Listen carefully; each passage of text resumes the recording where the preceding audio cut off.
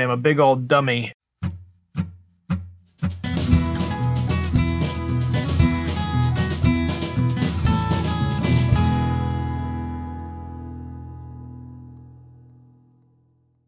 Hey, welcome back. Once again, I'm Chris Noosh, and uh, I just finished up a bunch of projects and exciting times. I get to film myself working on starting a new project.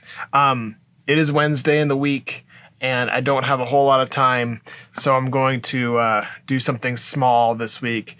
And I'm going to, uh, into the future from now until Christmas time, I'm going to focus on one project per video. And it's not going to be like a weekly structure. It's just going to be like one project per video.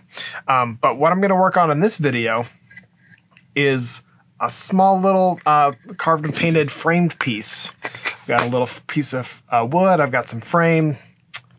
That was weirdly worded. Piece of wood plus frame. I draw on the wood. I make art thing. Boom. That's the formula for this week. Um, don't know what I'm going to draw yet, but I got my pencil. And I'm just going to start sketching, see what comes to my mind, see what works.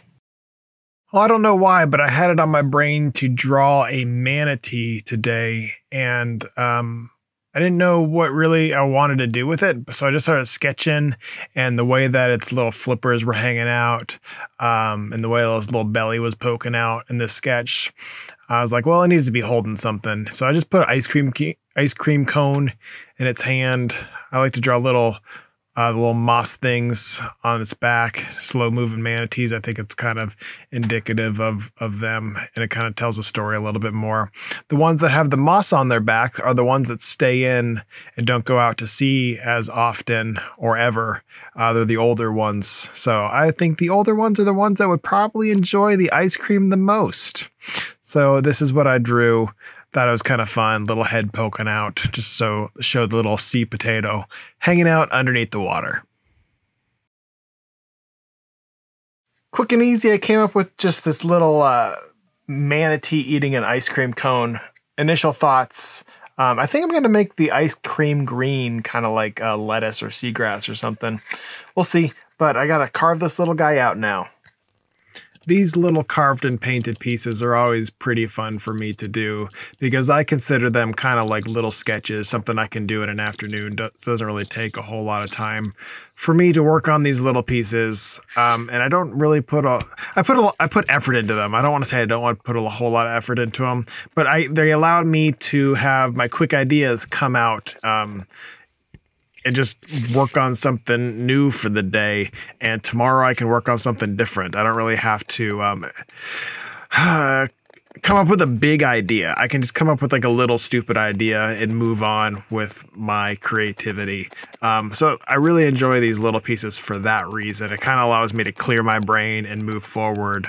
Um, and I also like using just like new techniques with this, like with the little back pieces. I, I was using the U gouge, which I don't use very often, to get a different shaped mark for the little uh, moss on the back of the back of the on the back of the back on the back of the manatee. Back, back, back. How many times can I say that? But I also like doing like the transition between under the water and over the water, different views, different worlds coming together. Just think this is a fun little carving. But what wasn't super fun is these radiating lines on the back. I decided to get rid of those and just simplify the above the water area a little bit more. So I'm finished with the little manatee carving, the little manatee eating some ice cream, and uh, something interesting happened yesterday. I'm a big old dummy, and shortly after I finished carving this little carving, I injured myself. I cut my thumb up pretty good, and I had to uh, had to go get it stitched up. And if you're queasy and stuff, there's two types of people. There's the ones that are queasy and don't want to see anything, and there's the ones that are curious and want to see it all. And so I know if I don't show it, uh, the second group of people is is not going to be super happy. So close your eyes if you don't want to see it for the next couple seconds and I'll tell you when it's off the screen. But uh, yeah, I had to go get, I think it's like eight stitches in my thumb. It is currently on the screen, so don't look. Um, it is now off the screen. So I hurt myself.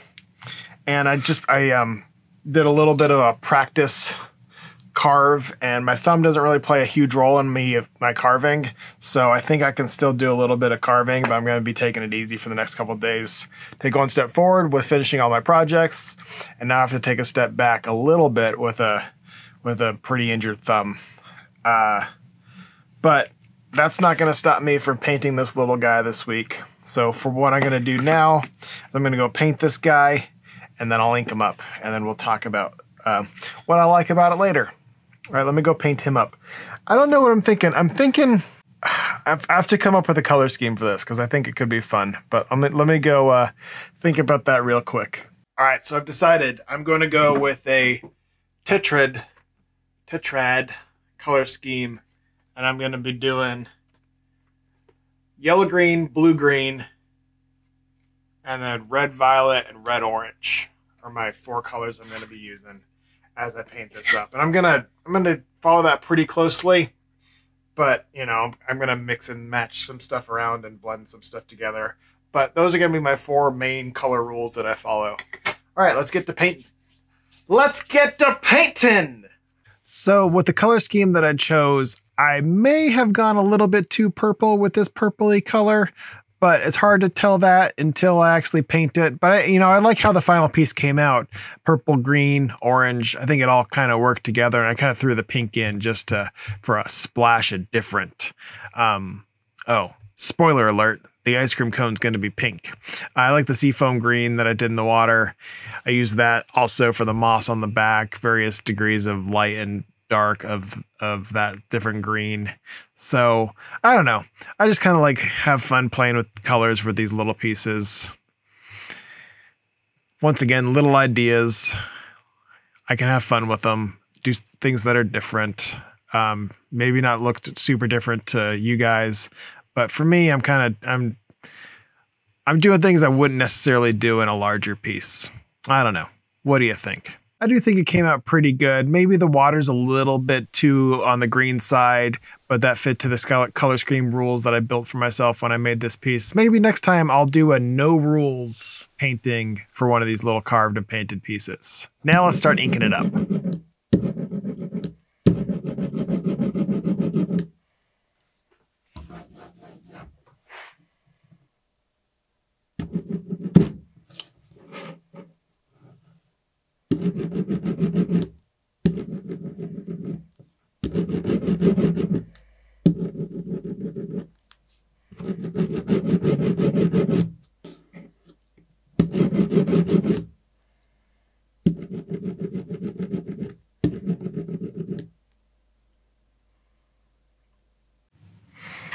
And then just like that, this little piece is completed. It is finished. Just a little manatee, eating some ice cream.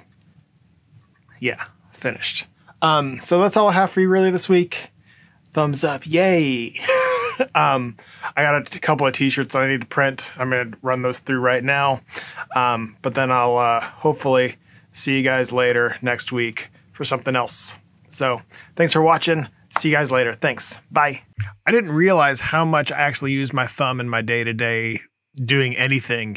Um, I thought that I could pretty much print these shirts one handed, and I can because I did, but it took me about twice as long. I used my thumb way more than I thought I would.